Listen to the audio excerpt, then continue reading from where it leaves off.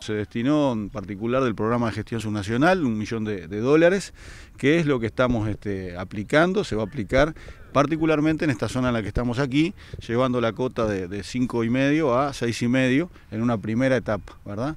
Este, tratando de eh, bueno, establecer un, nuevo ingreso al, puerto de, Paysandú este, y el realojo que, este, que, el intendente ha planteado de la cantidad de casas que sea necesaria para cumplir con ese objetivo que va a ser una primera etapa naturalmente.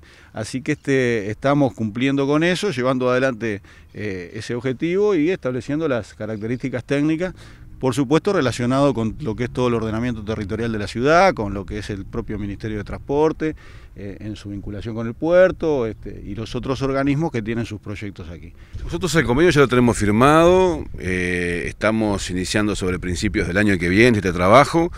Es un trabajo muy planificado, ¿no? Porque implicó, primero, contar con los recursos. Segundo, tomar una definición que es elevar la cota de inundación de Paysandú para que los vecinos que viven sobre la costa, cada vez que hay una inundación, no sufran perjuicio, porque es lo que ha pasado hasta ahora. Y bueno, ha primado el concepto de la restitución, que bueno, más o menos vamos dándole los materiales para que se vayan volviendo los lugares. Y ustedes saben que nosotros tenemos una política vinculada a la Inspectoría Territorial que hace que en lugares en los cuales nosotros habilitemos realojos, después inhabilitamos para el uso de vivienda y hay que resignificar. Eso se hace con planificación, con voluntad política y también con recursos. Y la OPP, en primera instancia, nos facilita recursos para la adquisición de predios mediante compra y mediante expropiación. Nosotros tenemos en transcurso dos predios en expropiación. La idea es aumentar en un metro la cuota de inundación y que va a lo largo del río. Estamos hablando del Bajo Curupí, de un portuario, de la Chapita. Y, y es comenzar un proceso serio, serio. Es un primer paso, será insuficiente, pero es un primer paso planificado y a nosotros nos parece que a esas familias este, les va a mejorar sustancialmente la calidad de vida. Sí, nosotros estamos hablando del entorno de 140, 140 soluciones habitacionales. ¿no? Este, básicamente, como se, estaba planteando, es eh, finalizar el, el, el, reloj de la chapita este, y avanzar con justamente la, parte del barrio Unión Portuaria, la zona del Edesma. ¿no?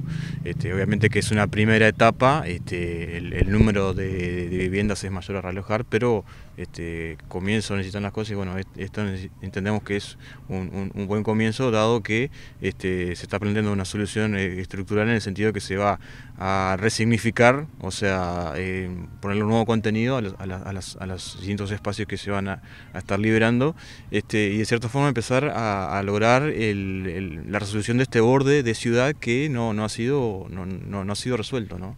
Entonces en ese sentido entendemos que es, es una, una, apuesta muy fuerte que, justamente va a lograr este, caracterizar y, conectar todo el paseo, el borde costero que entendemos que, que, está, está fraccionado en, sectores por, por la, la, imposibilidad de acceder a todo el paseo. ¿no?